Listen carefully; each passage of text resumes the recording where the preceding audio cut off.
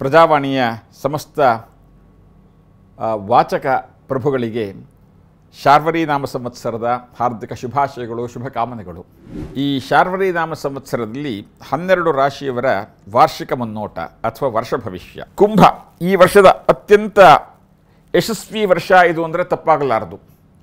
ಎಲ್ಲ ರೀತಿಯ ಸಮಸ್ಯೆಗಳಿಗೂ ಕೂಡ ಈ ವರ್ಷ ಮುಕ್ತಿಯನ್ನು ಕಾಣುತ್ತೀರಿ ಯಾವ ರೀತಿಯ ಒಂದು ಯೋಜನೆ ತಮ್ಮದಾಗಿತ್ತು ಅದೆಲ್ಲವನ್ನು ಪೂರ್ಣಗೊಳಿಸುವುದರಲ್ಲಿ ಯಶಸ್ವಿಯಾಗುವಿರಿ.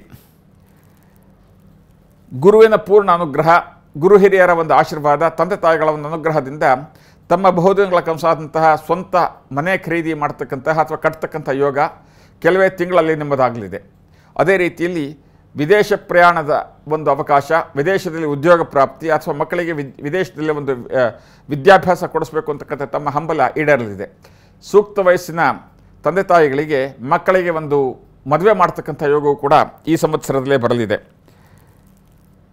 ಒಂದಿಷ್ಟು ಕಣ್ಣಿನ ರೋಗ ಮತ್ತು ಕೆಲವಷ್ಟು ದುರಾಸೆ ಫಲ ಒಂದಿಷ್ಟು ಆಗಾಗ ಕಾಡಿದರೂ ಕೂಡ ಹೆಚ್ಚಿನದಾಗಿ ಶುಭಫಲನೆ ಇರತಕ್ಕಂತಹ ಒಂದು ತೃಪ್ತಿದಾಯಕ ವರ್ಷ ಇದು ಅಂದರೆ ತಪ್ಪಾಗಲಾರದು. ಇನ್ನಷ್ಟು ಶುಭಫಲಕ್ಕಾಗಿ ಶೃಂಗೇರಿ ಶಾರದಾಂಬೆಯ ದರ್ಶನ ಮತ್ತು ಶೃಂಗೇರಿ ಆ ಶಾರದಾಂಬೆಯ ನಿರಂತರವಾದ ಸೇವೆ ತಮಗೆ ಇನ್ನಷ್ಟು ತೃಪ್ತಿ, ನೆಮ್ಮದಿ, ಯಶಸ್ಸನ್ನು ಕೊಡೋದರಲ್ಲಿ ಅನುಮಾನವಿಲ್ಲ.